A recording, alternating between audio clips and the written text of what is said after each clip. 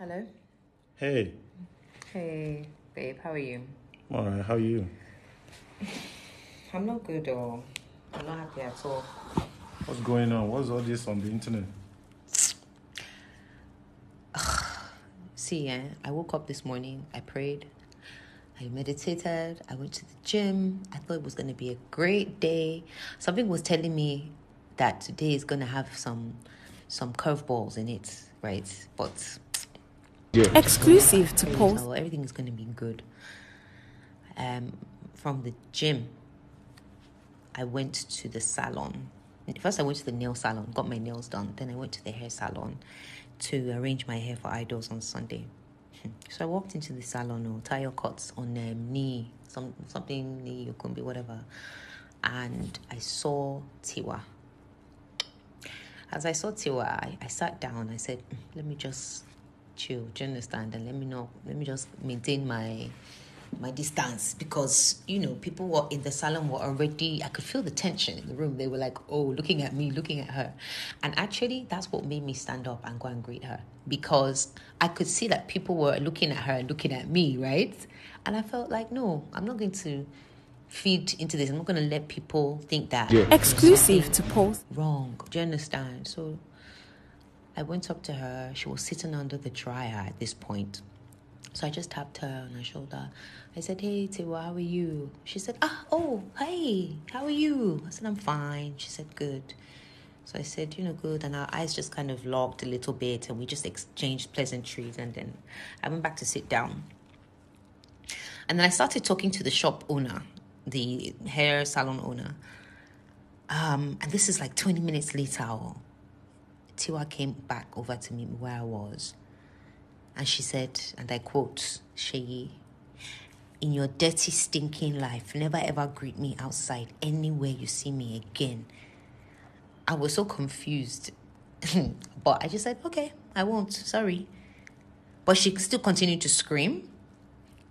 And this time she was screaming that, oh, me and that bitch, you and that bitch, Victoria Kimani, you um did, did, you wrote you did a song about me and you think I don't know it was about me, Shay, all the things you have done to me over all this time, you think I'm gonna forget. So then it occurred to me that she was talking about the fuck you challenge that I did in 2017. Is it not 2017 or or so?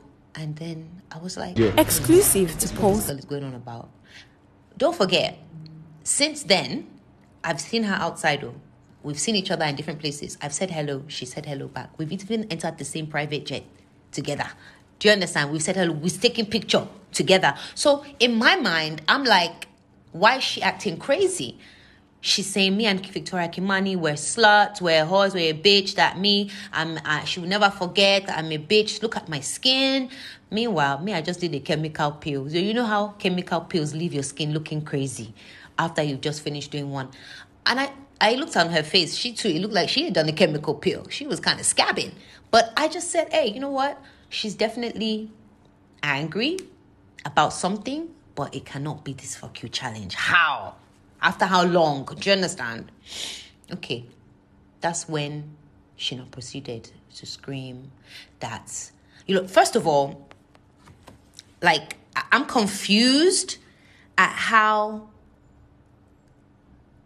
she could, like a mother, a mother swears on her son's life. She said, uh, if I'm lying, God should take my son's life right now. If what I say is a lie, God should, like, in my mind, I was so confused. When she said that, I was shocked. Crazy. Because I thought to myself, wait, this girl, what is she swearing on her son's life about? That what? She was not like, she was just being so discombobulated, just saying different things, shouting. Mo kàn wò pé, "Ah, what- Why are you so angry? She said, I mean, I have a black spirit, I be dirty spirit. In me and in my mind, I was like, it takes a dirty spirit to know a dirty spirit, girl, you know? And in my mind, I was like, this is so crazy. Even the shop assistants tried to, you know, calm her down and stop her, but she was still charging at me. She wanted to attack me. They actually had to carry away, you know? And I stayed as calm as possible.